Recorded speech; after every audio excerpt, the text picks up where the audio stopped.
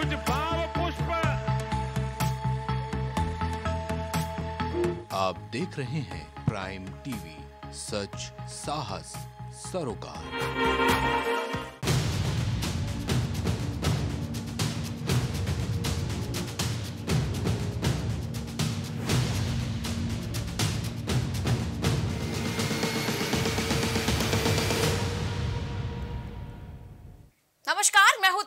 यादव स्वागत है आप सभी का हमारे खास शो, हर शहर प्राइम रिपोर्टर में। अपने इस खास प्रोग्राम में हम आपको प्रदेश की कुछ बड़ी खबरों से रूबरू करवाएँगे और जानेंगे जनता से जुड़े मुद्दों के बारे में और हमारे रिपोर्टर बताएँगे अपने अपने शहर का हाल।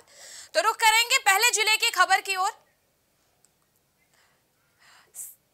सीएम योगी आदित्यनाथ ने आज ई पेंशन पोर्टल का शुभारंभ किया। वहीं लोक भवन में इसका उद्घाटन किया गया, जहाँ इस पोर्टल के शुभारंभ के बाद अब पेंशनरों को ऑफ़िस के चक्कर नहीं काटने पड़ेंगे ऑनलाइन रजिस्ट्रेशन करके आसानी से भुगतान मिल सकेगा। इस अवसर पर सीएम योगी ने कहा, उत्तर प्रदेश शासन के द्वारा आज ई पेंशन पोर्टल का शुभारंभ किया जा रहा है, जिसमें 11.5 लाख कार्मिक सीधे सीधे लाभान्वित होंगे।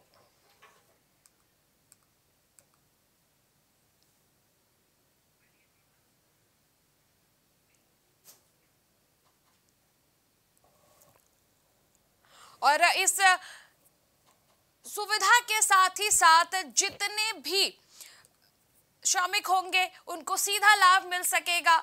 आसानी से ऑनलाइन रजिस्ट्रेशन करके आसानी से भुगतान उन्हें मिल सकेगा। आज एक अहम फैसला मुख्यमंत्री योगी आदित्यनाथ द्वारा लिया गया है। पेंशनरों को यह सौगात दिया गया है। ई पोर्टल का शुभारंभ किया गया है।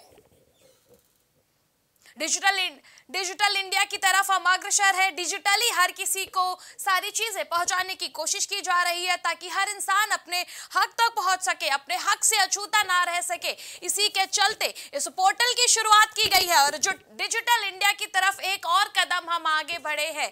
पेंशनरों को फ़ायदा देने के लिए। वहीं इस खबर पर लखनऊ से हमारे संवाददाता विभांशु हमारे साथ जुड़ चुके हैं, जिनसे हम जानेंगे इस खबर पर और अधिक जानकारी। विभांशु, आज लखनऊ से जो ऑनलाइन रजिस्ट्रेशन करके आसानी से भुगतान मिल सके और इसमें क्या क्या कुछ फ़ायदे हैं, आप बताइए। जी तो आपको बता दें कि ई पेंशन ई पोर्टल की आज शुरुआत मुख्यमंत्री के द्वारा लोक भवन में ठीक साढ़े ग्यारह बजे की गई है, जिसमें जो भी अब रिटायर कर्मचारी होंगे, उनको जो फ़ाइल को, फाइलों को लेकर अनेक कार्यालयों में जाकर सत्यापित कराने के बाद उनको ई पेंशन पेंशन मिलता था।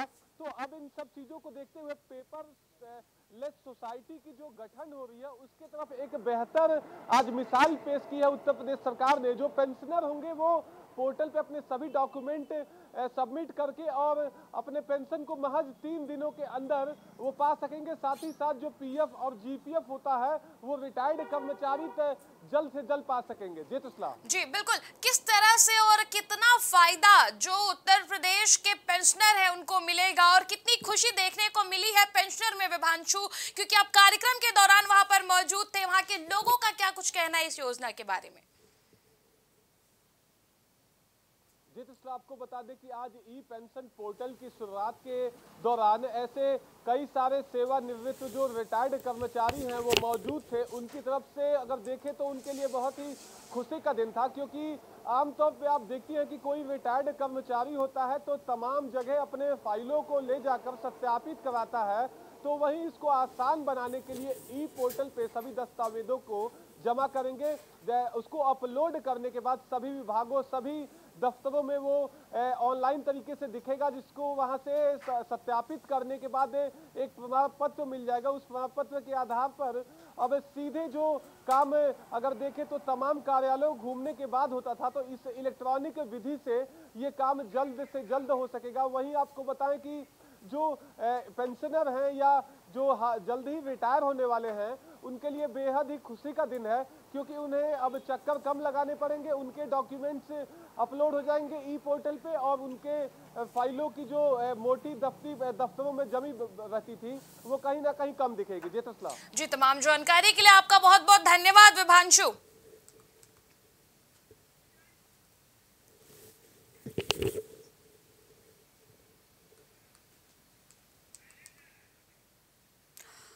तो आपने सुना कि किस तरह से इस, जब ई पेंशन पोर्टल का शुभारंभ किया जा रहा था तो प्रदेश से तमाम जो पेंशनर हैं, जो ओल्ड एज लोग हैं, वो वहाँ पर पहुँचे थे। उन्होंने ये जो सौगात मुख्यमंत्री द्वारा दी गई है, इस योजना की उसका स्वागत भी किया है।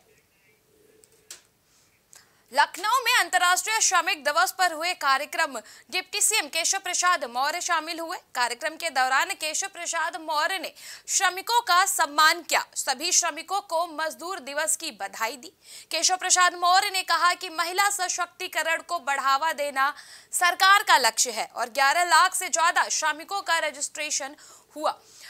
केशव प्रसाद मौर्य भी आज श्रमिकों को सम्मानित किया। अंतर्राष्ट्रीय श्रमिक दिवस के मौके पर कार्यक्रम में उन्होंने शिरकत किया। साथ ही साथ उन्होंने महिला सशक्तिकरण को बढ़ावा देने की भी बात कही। वही इस खबर पर अधिक जानकारी के लिए संवाददाता विभांशु हमारे साथ जुड़ चुके हैं। विभांशु, आज केशव प्रसाद मौर्य अंतर्राष्ट्रीय श्रमिक दिवस के मौके पर श्रमिकों को सम्मानित किए हैं। किस तरह की उत्साह श्रमिकों में देखने को मिली? जी तृष्णा आपको बता दें कि अंतर्राष्ट्रीय मजदूर दिवस के अवसर पे आज इंदिरा गांधी प्रतिष्ठान के अंदर में श्रमिकों का सम्मान समारोह रखा गया था। वहाँ मुख्य अतिथि के तौर पर उत्तर प्रदेश के उप मुख्यमंत्री केशव प्रसाद मौर्य मौजूद थे। उनके द्वारा श्रमिकों को सम्मान दिया गया। साथ ही साथ उनके तरफ़ से कहा गया कि आपके अथक प्रयास के बाद जिस प्रांगण में हम बैठे हैं, वो प्रांगण आपके ही द्वारा बना है। आप मजदूर हैं, मजबूर नहीं है। आपके अथक प्रयास से ही ये जो मोटी बड़ी इमारतें होती हैं या सड़कें होती हैं, वो आपके ही प्रयास से बनती है। तो कहीं ना कहीं राष्ट्र के निर्माण में आपका एक बेहतर योगदान है। इन सब चीज़ों को साथ में कहते हुए उन्होंने तमाम श्रमिकों को मंच पे बुलाकर सम्मान दिया। साथ ही साथ वहाँ मौजूद महिला श्रमिकों को महिला सशक्तिकरण की जो तमाम योजनाएँ हैं, उससे रूबरू कराते हुए कहा कि हर एक वर्ग के बीच महिला सशक्तिकरण को लेकर जागरूकता होनी चाहिए। वहीं आपको बता दें कि इंदिरा गांधी प्रतिष्ठान में ये कार्यक्रम 12 बजे रखा गया था, वहीं तीन बजे के करीब। आपको बताएँ कि उत्तर प्रदेश के श्रम एवं सेवा जन मंत्री अनिल राजभर की उपस्थिति में एक कार्यक्रम रखा गया, जिसमें जो राज्य मंत्री हैं, वो भी मौजूद रहे। साथ ही साथ, जो आपके श्रम आयुक्त हैं, राजशेखर, वो भी मौजूद रहे। और इस कार्यक्रम में भी ठीक वैसा ही किया गया। श्रमिकों को सम्मान दिया गया। साथ ही साथ श्रमिकों की जो छात्र बच्चे हैं, उनको, जो स्कूल जाते हैं, उनको एक तोहफा के तौर पे साइकिल दी गई। साथ ही साथ जो श्रमिक है उनको ऐसे कई सारे प्रोत्साहन राशि भी दी गई। जी। जी विभांशु महिला सशक्तिकरण मेन लक्ष्य भारतीय जनता पार्टी का ऐसे डिप्टी सीएम केशव प्रसाद मौर्य ने कहा इससे में महिलाएँ श्रमिक जो वहाँ पर उपस्थित थी भारी मात्रा में महिला श्रमिक भी वहाँ पर उपस्थित उनमें क्या कुछ खुशी देखने को मिली क्या कुछ उन्होंने अपनी खुशी ज़ाहिर की है? जी, बेशक तृष्णा आपको बताएँ कि उनके तरफ़ से ये कहा जा रहा था मीडिया बाइट्स में कि पहली बार कोई सरकार महिला सशक्तिकरण का एक बेहतर मिसाल पेश कर रही है। साथ ही साथ हर वर्ग की बात पे कहीं ना कहीं वो मुख्यमंत्री की बातों से कायल दिखी। और अगर देखें तो तमाम ऐसी घटनाएँ आती हैं तो कहीं ना कहीं उनके अंदर भी अब जागरूकता जा रही है कि हम जो महिला सशक्तिकरण की बात की जा रही है, वो ग्रामीण के साथ, शहरी के साथ साथ ग्रामीण क्षेत्रों में की जा रही है। चाहे बात की जाए तो अमीरों के साथ साथ जो गरीब हैं जो श्रमिक हैं उनके लिए भी बात की जा रही है। तो कहीं ना कहीं उनके लिए एक हर्ष का दिन है और उनको ये सम्मान जब उन्हें दिया गया साथ ही साथ उनके सशक्तिकरण की बात की गई तो उनके आँखों में कहीं ना कहीं वो खुशी दिख रही थी जो पहले दिखनी चाहिए थी। जी जी बिल्कुल विभांशु तमाम जानकारी के लिए आपका बहुत बहुत धन्यवाद।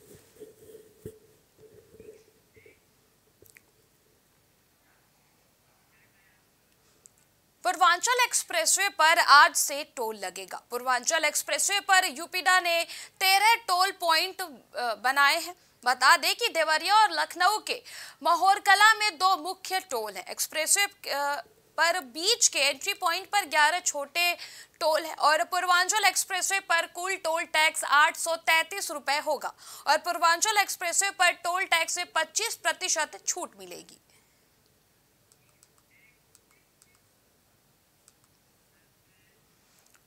योगी सरकार लगातार माफियाओं के खिलाफ कार्रवाई कर रही है। लेकिन कानपुर के मेहरबान सिंह पुरवा में माफियाओं की फर्जी प्लॉटिंग जारी है।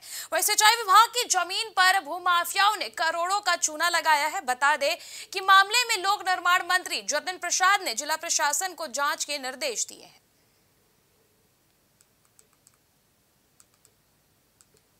भूमाफियाओं के हौसले बेहद बुलंद नज़र आ रहे हैं।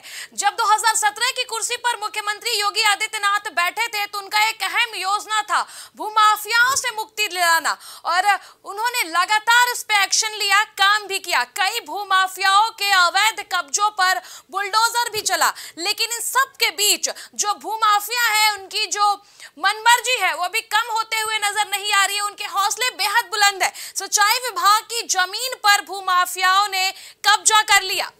और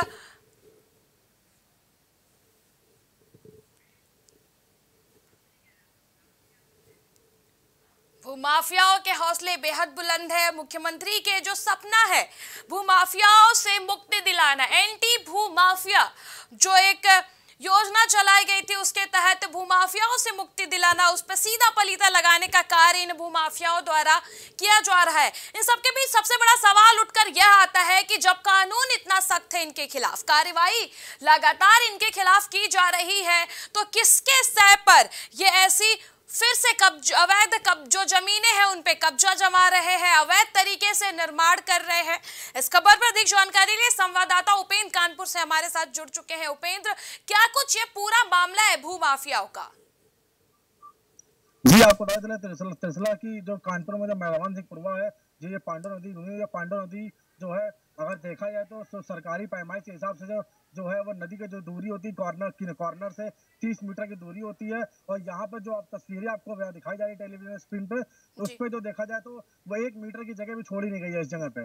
जी अगर बात की जाए उपेंद्र अस्थाना तो जिस तरह से लगातार जब 2017 में मुख्यमंत्री की कुर्सी पर योगी आदित्यनाथ बैठे थे तो उनका एक जो अहम योजना था एंटी भूमाफिया उसके तहत कार्रवाई की जा रही है। कई अवैध जो कब्जे हैं भूमाफियाओं के उस पर बुलडोजर भी चलाया जा रहा है। किस उसके बावजूद भी किसके सह पर यह भूमाफिया इस तरह के कृत्य कर रहे हैं?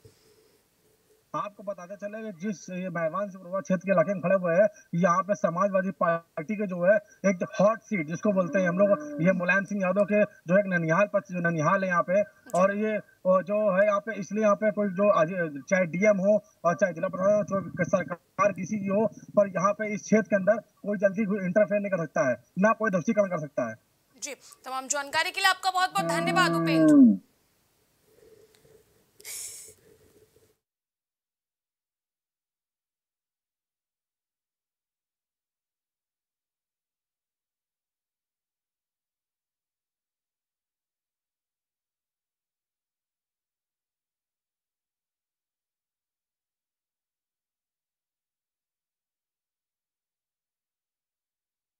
करौली के प्राथमिक विद्यालय तकिया का है जब प्राइम टीवी के संवाददाता विद्यालय पहुँचे तो सहायक अध्यापक और एक शिक्षा मित्र अनुपस्थित मिले। वहीं स्कूल के ही एक कमरे में आंगनवाड़ी केंद्र भी है, जिसमें ताला लगा था। गाँव वालों ने यह भी बताया कि उन्होंने बीआरसी कार्यालय जाकर लापरवाह अध्यापकों के खिलाफ शिकायत भी की थी, लेकिन अभी तक खंड शिक्षा अधिकारी की तरफ़ से कोई कार्यवाही नहीं की गई। जिस तरह से लगातार सरकार की तरफ़ से योजना चलाई जा रही है शिक्षा को लेकर के, ताकि कोई बच्चा शिक्षा से अछूता ना रह पाए। हर बच्चे को शिक्षा का हक है, हर बच्चे को शिक्षा मिलनी चाहिए। कई तरह के अभियान भी चलाए जा रहे हैं, कई तरह की योजनाएँ भी लाई जा रही है, लेकिन इन सब के बीच जो अध्यापक है, उनकी बड़ी लापरवाही सामने निकल करके आ रही है। अध्यापक लगातार स्कूलों में अनुपस्थित रह रहे हैं। हाल ही में कई तस्वीरें अलग अलग जगहों से सामने आई थी, जहाँ पर बच्चों द्वारा कहीं पर शौचालय साफ़ कराया जा रहा था तो अलग अलग तरह की चीज़ें निकल के सामने आई थी। वही अब ये जो खबर चंदौली से सामने आ रही है, यहाँ पर विद्या विद्यालय में अध्यापक ही अनुपस्थित मिलते हैं। वही से खबर पर अधिक जानकारी लिए संवाददाता अजित हमारे साथ जुड़ चुके हैं। क्या कुछ पूरा मामला है अध्यापक के स्कूल में एबसेंट रहने का?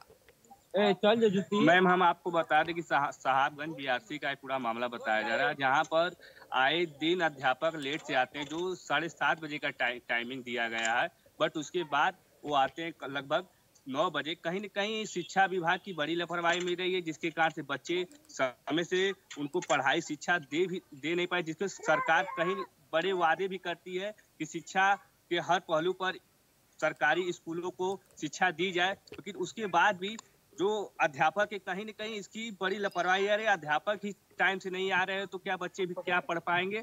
और यही कहीं न कहीं बहुत लापरवाही देखने को मिल रही है। अजित किसी अपर अधिकारी ने इस पे कोई अभी कार्रवाई नहीं किया या फिर कोई जायजा नहीं लिया अभी तक?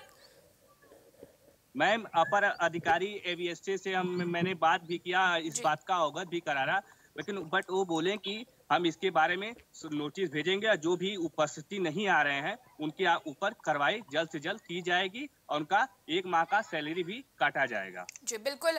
अजोत उस खबर पर जानकारी के लिए धन्यवाद। बने रहिए आप हमारे साथ।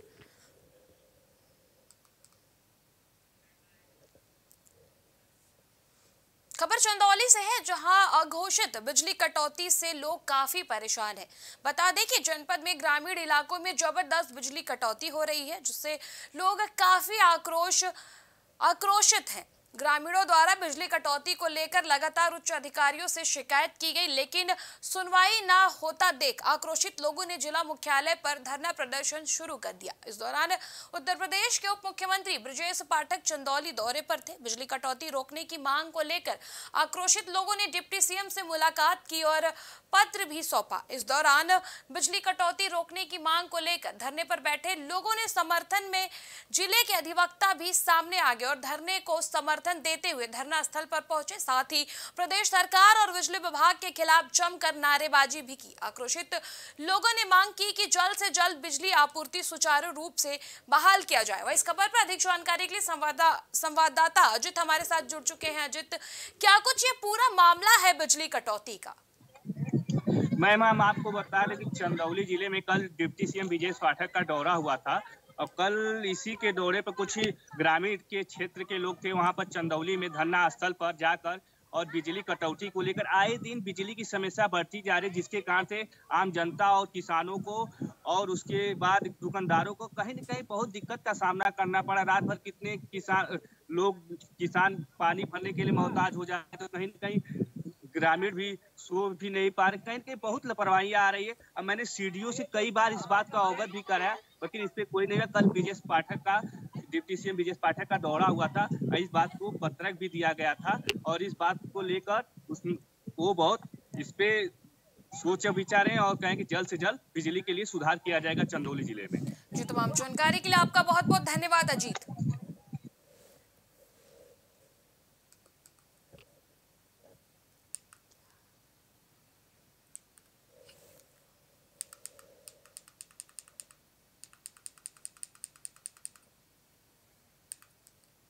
क्या नाम था इस प्रोग्राम का?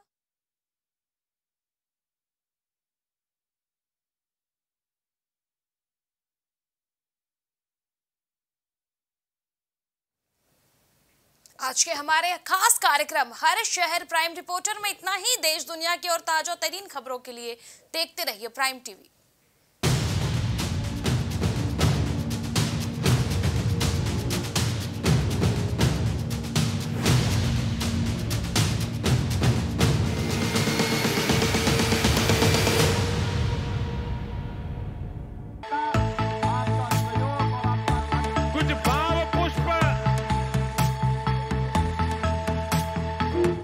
देख रहे हैं प्राइम टीवी सच साहस सरोकार